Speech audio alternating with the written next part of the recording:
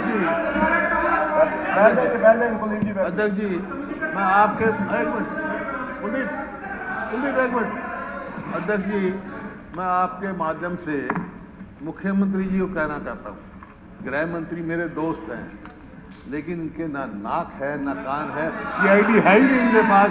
काय के गृह मंत्री हैं? आपको आग लगाने में मज़ा आ रहा है? आपको आग लगाने में मज़ा आ रहा है?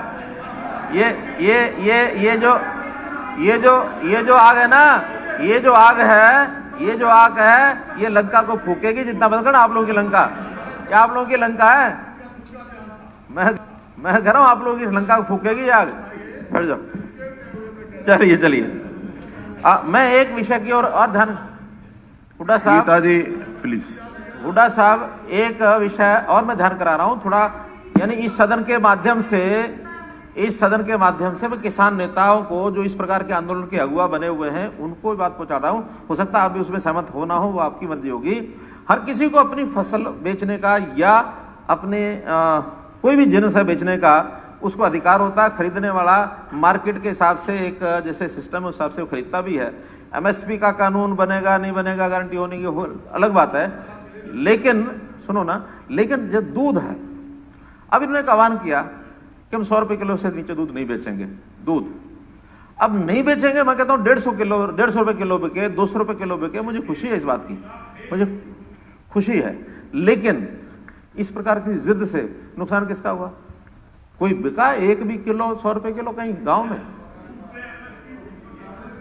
नहीं नहीं लेकिन उनको आह्वान करने की क्या ज़रूरत थी? नुकसान तो किसान का किया ना। वो पाँच दिन। और मेरा तो ये कहना कि अच्छा ही होता, अगर मान लो आप लोगों की सहमति उसमें थी, आप खरीद लेते, सबको पिलाते, फ्री में जा करके आप खरीद के ले लेते। कुछ कुछ वो वो तो हो जाता ना कि कुछ भला उनका, किसानों का भी हो जाता, आपका भी हो जाता, पुण्य मिलता। आग लगाने वालों को नहीं है इसकी खबर। कहाँ इसकी खबर है? कि रुख हवाओं का बदला तो खाक वो भी हो जाएँगे। ध्यान रखना। ये रुख बदलेगा। और अगर रुख बदल गया तो कहीं कहीं रहोगे। हाँ।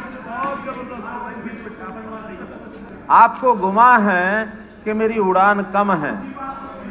आपको गुमा है कि मेरी उड़ान कम है, मुझे यकीन है कि ये आसमान कम है।